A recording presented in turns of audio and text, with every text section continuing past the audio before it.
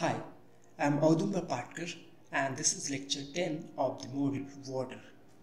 In this lecture, we are going to discuss about one important technique that is ion exchange process, also called as deionization or demineralization process. As the name suggests, process helps to remove ions or minerals from water by exchanging ions. Here are the reasons why this process is having so much importance. It produces water of very very low residual hardness. That means when you treat the water with this process, you will get water having less than 2 ppm hardness. So this water can be used in high process boilers. One more advantage of this process is one can soften even highly acidic or highly alkaline water. For this process, we require ion exchange resins. Ion exchange resins are insoluble, cross-linked, long-chain organic polymers with microporous structure. Normally in the form of small microbeads, usually white or yellowish spheres around 1 mm diameter in size. And functional groups attached to these polymeric chains are responsible for the ion exchanging properties.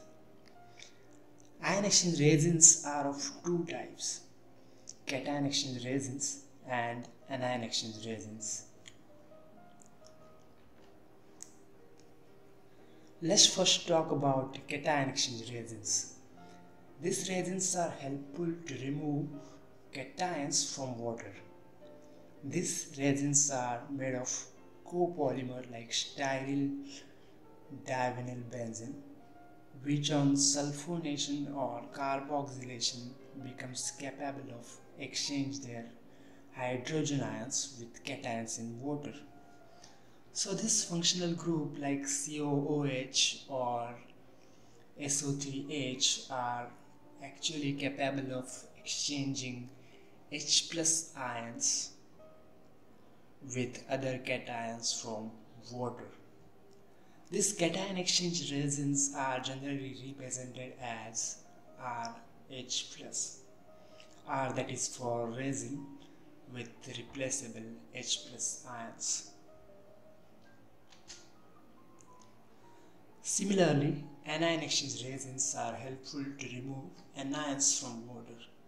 So the basic resin is mostly again styrene divinyl benzene which contains amino or quaternary ammonium or quaternary phosphonium group as an internal part of the resin matrix which after treatment with dilute NaOH solution becomes capable to exchange their OH ions with anions in water. These anion exchange resins are generally represented as ROH.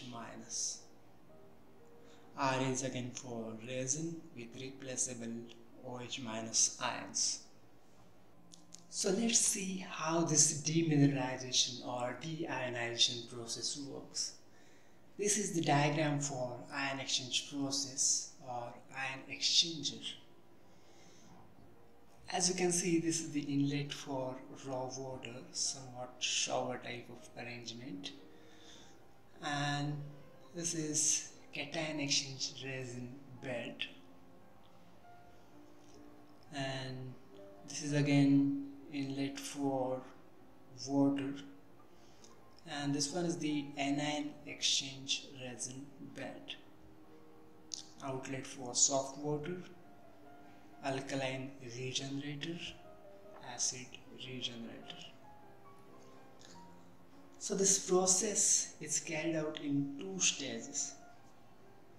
First that is demineralization or deionization we are talking about and second that is regeneration of resin so let's talk about first stage that is deionization process. So for this process, we are going to pass the water at specified rate through this bed of cation exchanger which having replaceable H plus ions. So when you pass the water through this cation exchange resin bed, the H plus ions will get replaced with the cations from water and we'll get water that is free from all cations. Let's see what actually happens here.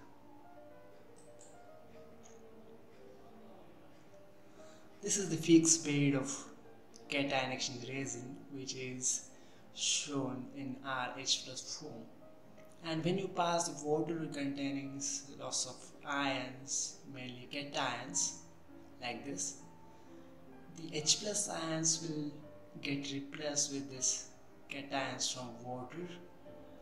And water after this will be free from all such cations and which contains only H plus ions.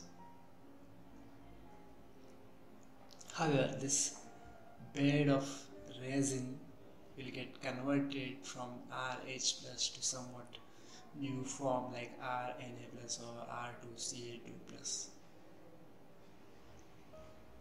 When you pass the water which is free from all cations towards this next tank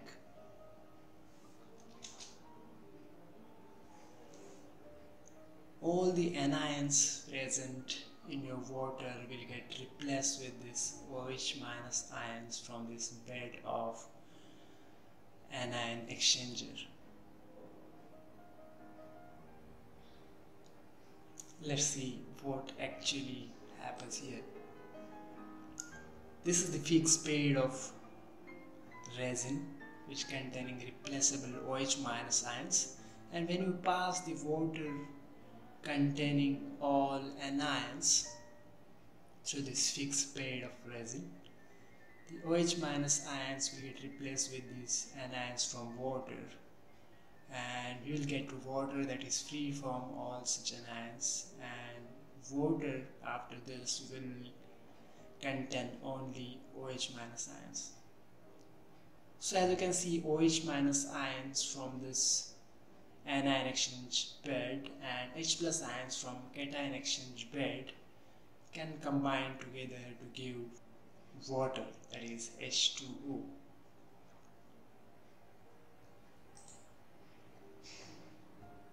And what we'll get that is soft water as the outlet.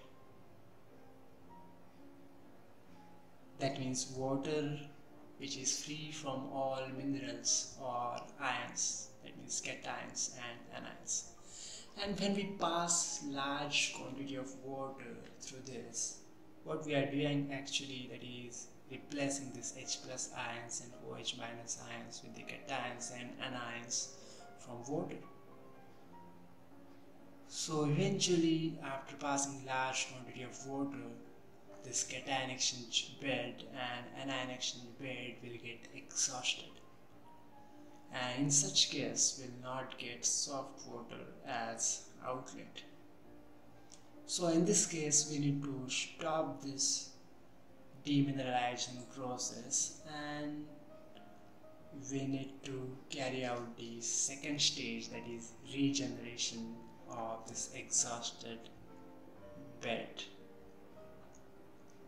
So for this we need to use the acid regenerator like HCl or H2SO4 like solution to regenerate this cation exchange bed and what we require is NaOH or KOH like solution is alkaline regenerator to regenerate this anion exchange resin bed.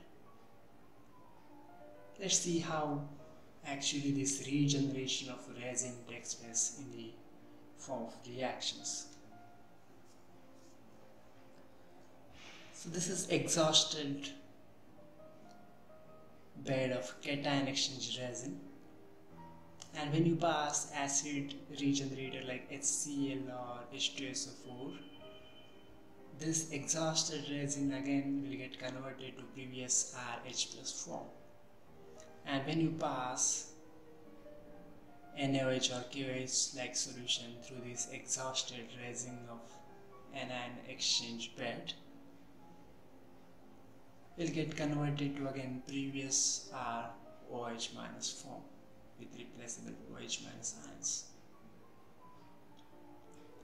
So this regenerated resin can again now use for demineralization or deionization process. So this is all about ion exchange process. Thanks for watching. See you next time.